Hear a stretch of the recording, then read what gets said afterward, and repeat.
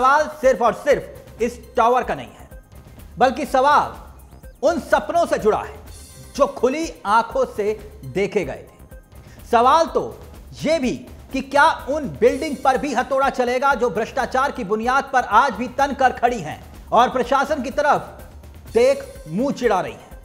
क्या उन अधिकारियों के घर पर भी हथौड़ा चलेगा?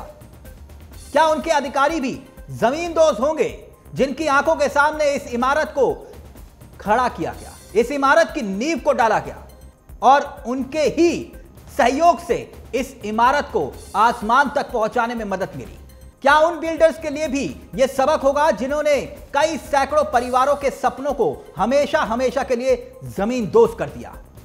कहते हैं ना, ता उम्र भी जाती है आशियाना बसाने में और उन्हें तरस भी नहीं आता बस्तियाँ उजाड़ने में। मगर सवाल, बस्तियों का नहीं है।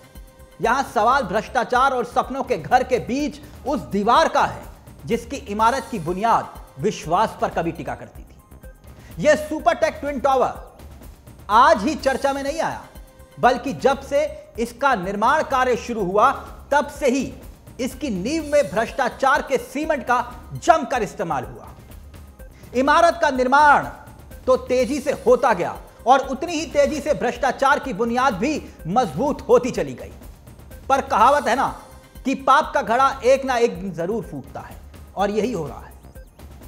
इनको बनाने वाले इमारत के नक्शा पास कराने वाले उन लालचियों ने यह सोचा नहीं था कि जिस तेज़ी से इमारत के माले खड़े हो रहे हैं, उससे कई गुना तेज़ी से ये चंद सेकंडों में हमेशा हमेशा के लिए इतिहास भी बन जाएँगे, ज़मीन दोज हो जाएँगे। न्यूज़ वाली इंडिया की इस खास पेशकश में हमारे पूछे जा रहे कुछ सवाल हैं। सवाल यह कि क्या भ्रष्टाचार की इमारत गिरने के बाद क्या भ्रष्टाचार का दी एंड हो जाएगा?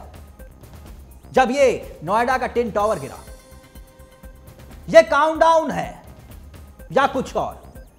ज़मीन को खोखला करती उन दीमक का हम ज़िक्र कर रहे हैं जो भ्रष्टाचार के रूप में ना जाने ऐसे कितने टॉवर्स का निर्माण कर चुके हैं। सवाल एक जिनके सपनों की इमारत खड़ी थी, वो इमारत भी ज़मीन दोज होगी जिसका जीवन इसमें लगा था, वो भी धराशायी होगा।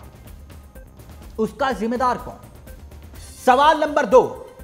आम जनता ता उम्र की खून पसीने की कमाई इस इमारत में लगी। लेकिन क्या जिन अधिकारियों की शय पर यह भ्रष्टाचार की दीवारें खड़ी हुई, क्या उनके घर भी धराशायी होंगे। सवाल नंबर तीन, क्या करप्शन की यह बिल्डिंग गिरने से जिनकी उम्मीदें भी धराशायी होंगी? संदेश आएगा भविष्य के लिए। लेकिन क्या ऐसी बिल्डिंग आगे भी गिरेंगी? सवाल नंबर चार, क्या उन मामलों की जाँच होगी जिसमें भ्रष्टाचार की बू आती है? ना जाने ऐसे कितनी इमारतें होंगी जो करप्शन की ज़मीन पर सालों साल खड़ी हो चुकी हैं। सवाल कई हैं, लेकिन जवाबदेही किसकी है? यह भी एक बड़ा सवाल है।